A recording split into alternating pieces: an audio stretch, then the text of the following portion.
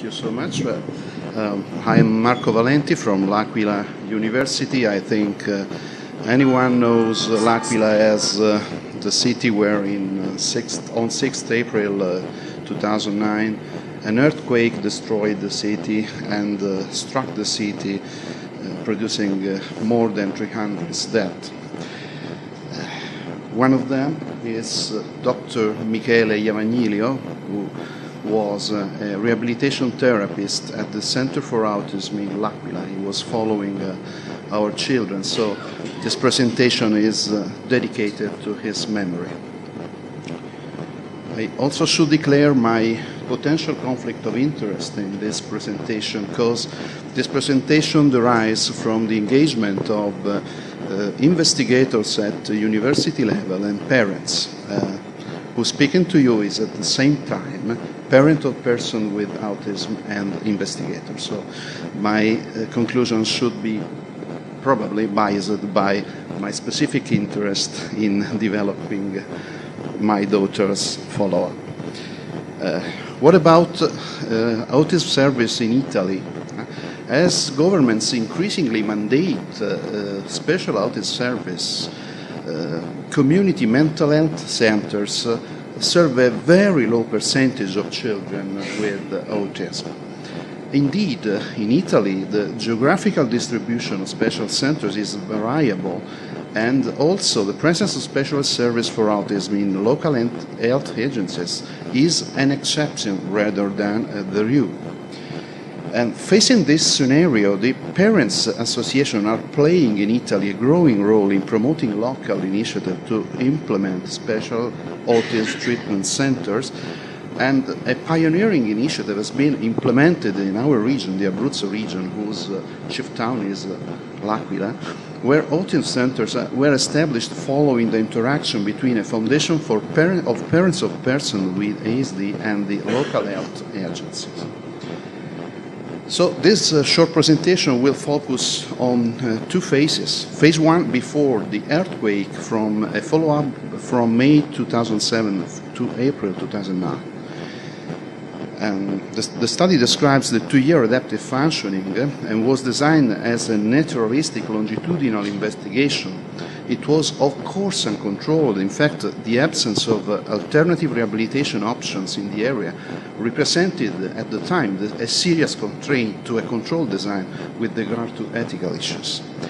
The case series was uh, 60 participants with autism, 20 females and 40 males, aged between 4 and 18 years, attending three structures in the Abruzzo region located in L'Aquila, Lanciano, and Vasto, and followed up uh, for two years treatment uh, is based upon behavior modification, though it cannot be regarded to as a pure ABA.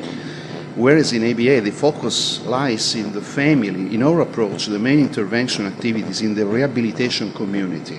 Participants without autism are admitted to a specialized setting like the center, and their abilities explored and trained, in, and intervention rules subsequently assigned to home and school.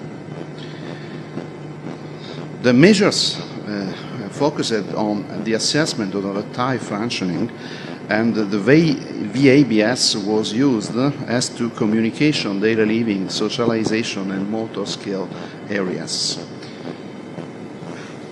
This is uh, quite difficult to read the table, but uh, in synthesis, uh, our information is that uh, um, during a two-year follow-up, at any uh, strata by, uh, by gender or by age, the improvement was uh, clear and uh, um, with respect to the baseline data on over the four axes.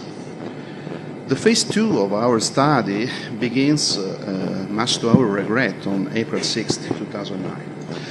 At this time, the powerful uh, earthquake uh, measuring 6.3 on the Richter scale struck the territory of L'Aquila. And the earthquake spread about uh, a great amount of the territory of the Abruzzo region and left at least 50, 55,000 people without housing. And while evaluating the earthquake outcomes on the health status of the population, special attention must be paid to persons and family affected by psychiatric disorders, indeed by autism spectrum disorders.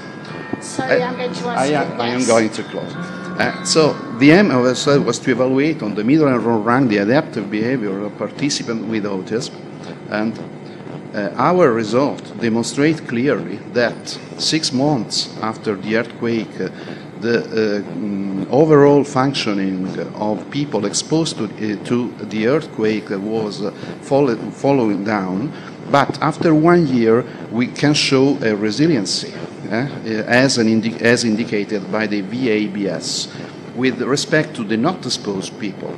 Also, if we consider the uh, resiliency of uh,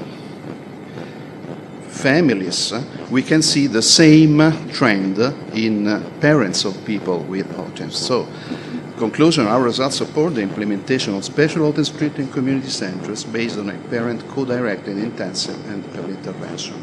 This is our center at the time of the earthquake. This is the new center for adults in Underworld. Thank you very much.